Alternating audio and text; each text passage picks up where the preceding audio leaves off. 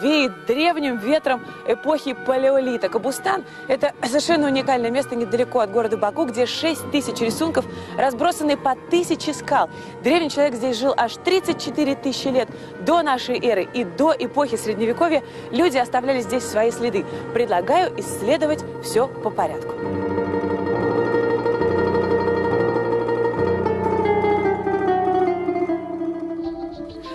Главное, как и все самое замечательное в этой жизни, габустанские наскальные рисунки были обнаружены абсолютно случайно, поскольку со средневековья люди уже здесь э, не жили, а просто ходили туда-сюда периодически. А в 30-х годах прошлого века здесь начались разработки камня для строящегося города Баку и окрестностей.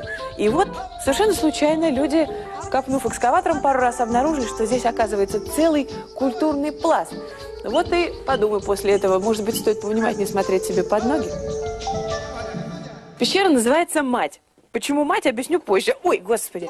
Интересная штука заключается в том, что люди жили здесь тысячелетиями, и вот э, с эпохи э, верхнего палеолита, потом мезолит, потом бронзовый век, проходя мимо этого места, они как бы рисовали э, рисунки над теми, кто жил до них, поэтому здесь целая летопись поколений. Вот какие орудия были людям доступны, вот тем они и рисовали. Вот эта вот коза выбита уже инструментами, доступными человеку в бронзовом веке. Почему мать теперь объясняю? Потому что все эти тысячелетия люди жили хорошо, у них не было никаких проблем, потому что у них был матриархат. Понимаете, да?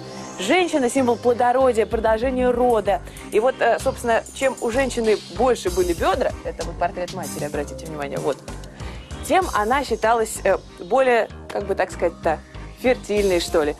Ну и, конечно же, неплохой бюст. Вот лица у женщины не видно совсем. Но это, в общем-то, никогда не было важно. Вот вам каноны красоты э, наших предков. Мне кажется, это как-то больше похоже на правду, нежели вот эти наши глянцевые девушки, э, исправленные фотошоп. Вообще, конечно, я понимаю людей, которые здесь столетиями ходили и не могли разглядеть этих уникальных наскальных э, рисунков, просто потому что уже тысячи лет прошло. Рисунки, конечно, немножко стерлись. Наверное, человек эдак, ну, не знаю, семь, что ли, сложно уже сосчитать. Женщин, которые танцуют некий прообраз э, исторического азербайджанского танца ялы, держась вот так вот за руки. Не знаю, насколько будет вам хорошо видно. Лица этих женщин история, конечно же, совсем уже не сохранила, но от этого они не становятся менее прекрасными. Ну, конечно, не только любители археологических э, достопримечательностей могут приезжать в Губустан, а, например, и девушки, у которых еще не все в порядке с личной жизнью, в плане никто замуж не берет. Вот это камень счастья.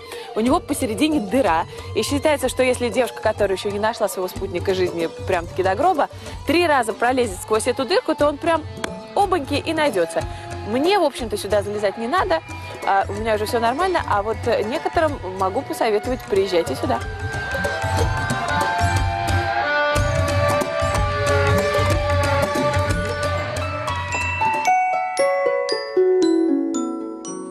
Еще одно интересное место называется пещера быка. Ну, как слышите, так и пишется. Вот вам бык.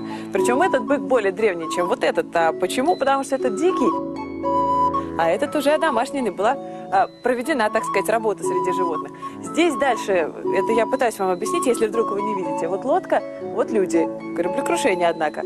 А вот э, совсем вот за углом Видимо, а, вот эта вот девушка, которая вот к нам ближе, она удачно прошла через этот камень счастья, потому что изображена свадьба, то есть процесс бракосочетания. Девушка – молодой человек. А чуть-чуть дальше там э, козлы, которые почему-то считаются символом любви. Но это, наверное, тогда родилась поговорка «любовь зла, полюбишь и козла».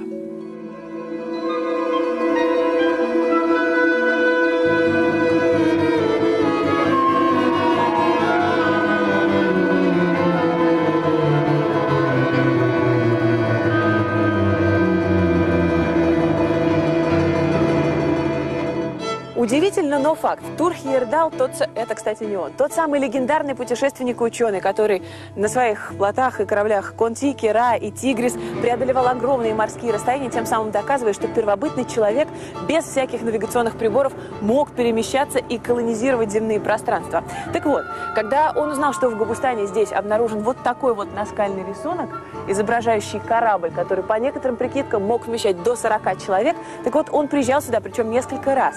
И на основании сходства вот этих кораблей и такого же рода лодок, которые были обнаружены на его родине, в Норвегии, там, на скалах, он установил, что, может быть, далекие предки норвежцев прибыли туда, в Норвегию, отсюда, с Кавказа. Ничего себе расстояние, да? Нормально.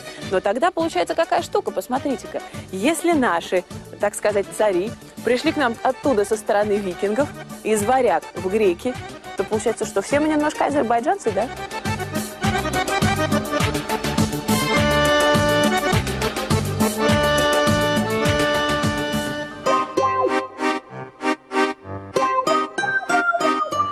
Довершение всего здесь открывается потрясающий вид на долину. А у меня к вам, Тим, знаете, вот какое предложение. Вот приезжайте сюда сами и исследуйте все сколько хотите, потому что, как вы понимаете, за время сюжета все 6 тысяч рисунков показать вам было абсолютно невозможно. Только не оставляйте надписи типа «Здесь был Дима». Это, конечно, тоже наскальная живопись, но все-таки будем уважать память древнего человека.